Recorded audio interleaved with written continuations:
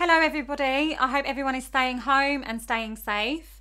Now, had the school not been closed this week, I would have used our assembly time to mark a very important day in history, most specifically in Holocaust history. Now, on the 15th of April 1945, the British Army entered Bergen Belsen concentration camp, and there they liberated it from the Nazis. Now, the 15th of April 2020 marks the 75th anniversary of that liberation. This date is important because we remember all of the people that died in Bergen-Belsen, actually all of the Jewish people that died in the Holocaust, so 6 million Jewish people. But it's also a day to remember and celebrate the actions of the British soldiers that entered that camp and their heroic actions. As you can see from the slide, um, the British liberation on the 15th of April 1945, when they entered, they found 53,000 prisoners, the majority of whom were emaciated and suffering from lots of different various diseases. On the 4th of March this year, myself and three sixth formers were able to go and visit Bergen-Belsen. Now, Bergen-Belsen was unlike some of the camps that you would have learnt about, especially if you're in year nine at the moment and you would have researched places like Auschwitz-Birkenau where there was the big gas chambers. Bergen-Belsen was very different.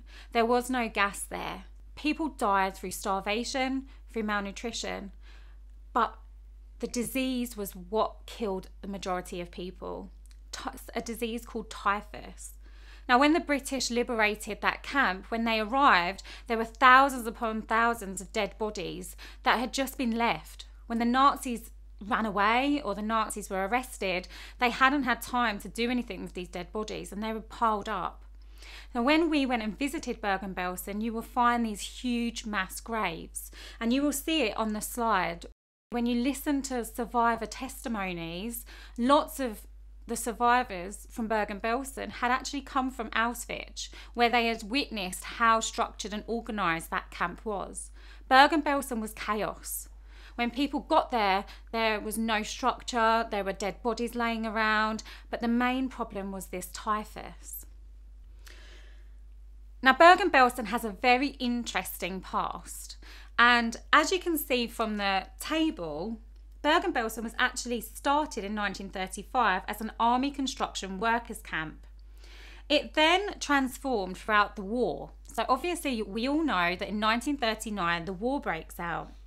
And from 1940 to 1943, Bergen-Belsen was used as a prisoner of war camp. Majority of the prisoners of war were from Soviet Union.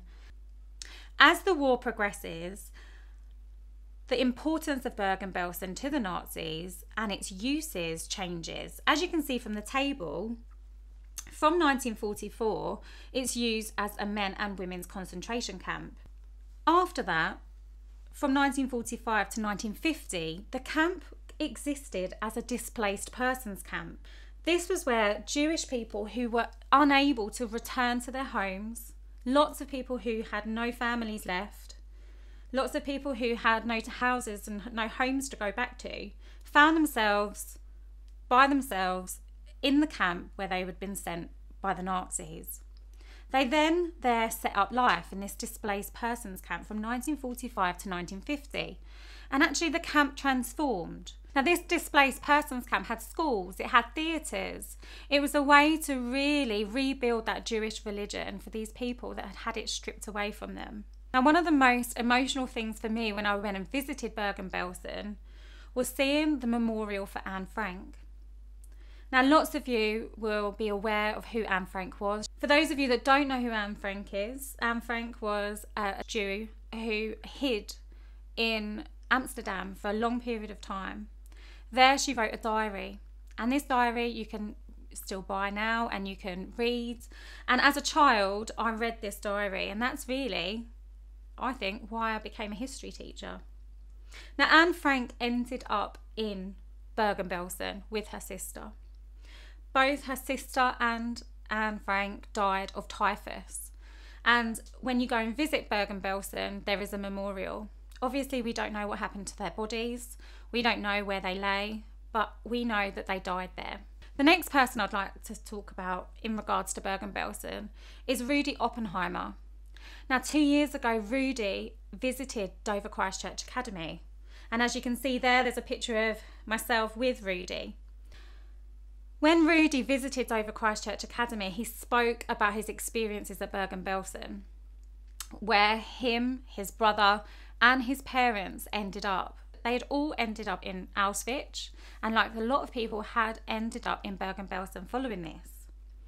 Now, unfortunately, Rudi's parents died in Bergen Belsen, and from the slide, you can see there's a memorial for him, for his mother, and his father. Unfortunately, Rudi Oppenheimer died last year. And I think Rudi's story is really important to remember um, when we're looking at the history of Bergen Belsen. And his brother wrote a book, and it's in our school library. So when we are back at school, it would be good for you to read that, and it really ex- explains the history of Bergen Belsen and actually what this family went through. Now, the last slide I want us to look at is from Susan Pollock. Susan Pollock is one of the last living Holocaust survivors. I was lucky enough to meet her about six years ago. She had endured Auschwitz Birkenau and actually was liberated at Bergen Belsen. And as you can see from the slide, she says the conditions in Belsen were horrific beyond belief, and many of those liberated died shortly after that day. I will never forget the kindness of the British soldier who picked me up off the ground, put me on a stretcher. He was a beacon of light in an uncertain future. This marked the beginning of a new life. It was because of people like him and so many others that I survived, and I'm able to share my testimony. I'm proud to call Britain my home and I'm forever grateful. I wanted to leave this lesson on Susan Pollock's testimony because this is a British story. This is British history. British soldiers liberated this camp. So I want you to think about what I said in January in your assembly when it marked Holocaust Memorial Day. You all have a voice. You're all able to stand up for what you believe in. But use this time throughout this week to think about the Holocaust, the people that died, but also the heroes on the 15th of April, those British soldiers and what they saw and how they helped people. Thank you. Uh, stay safe and stay home. Bye.